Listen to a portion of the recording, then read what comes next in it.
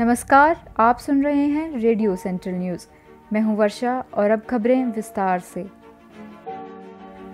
जम्मू कश्मीर में आतंकवादियों के साथ मुकाबला करते हुए अपने प्राणों का बलिदान देने वाले ज़िले के शहीद जब्बर सिंह को आज पूरे राज्य के सम्मान के साथ अंतिम विदाई दी गई।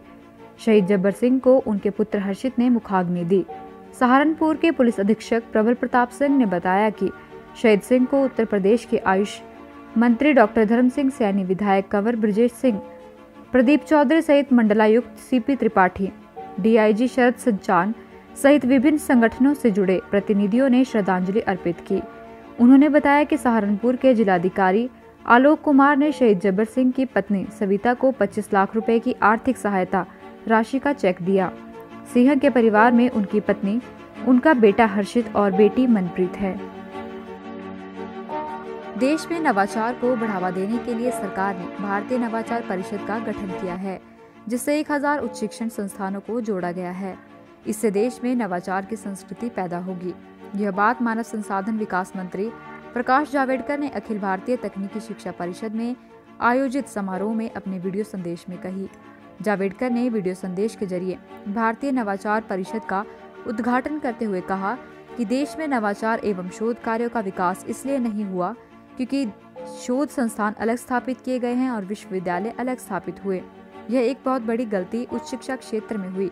उन्होंने कहा कि बच्चों का मस्तिष्क बहुत कल्पनाशील होता है और नवाचार में उनकी रुचि होती है। इसलिए हमारी सरकार ने स्कूल स्तर से ही नवाचार को बढ़ावा दिया है और इसके लिए अटल टैंकरिंग लैब खोले गए और अब तक 3000 ऐसे लैब खोले जा चुके हैं।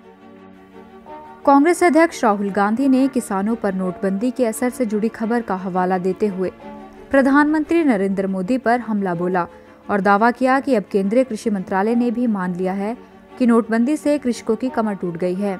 गांधी ने ट्वीट पर एक खबर शेयर करते हुए कहा कि नोटबंदी ने करोड़ों किसानों का जीवन नष्ट कर दिया है। अब उनके पास बीज खाद खरीदने के लिए भी पर्याप्त पैसा नहीं है, लेकिन आज भी मोदी किसानों के दुर्भाग्य का मज़ाक उड़ाते हैं।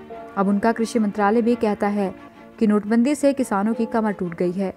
कांग्रेस अध्यक्ष ने जो खबर शेयर की है, उसके मुताबिक वित्त मंत्रालय से संबंधित स्थायी संसदीय समिति को सौंपी रिपोर्ट में कृषि मंत्रालय ने कहा कि नोटबंदी का किसानों पर बुरा असर पड़ा है। नोटबंदी के बाद नकदी की कमी आ गई है, जिससे किसान रबी और खरीफ की फ़सल के लिए बीज खाद नहीं खरीद सके। उधर प्रधानमंत्री नरेंद्र मोदी ने मध्य प्रदेश में चुनाव प्रचार के दौरान कहा कि देश में भ्रष्टाचार के दिमक को साफ़ करने के लिए बैंकिंग प्रणाली में पैसा वापस लाने के लिए नोटबंदी जैसी कड़वी दवा का उपयोग करना ज़रूरी था।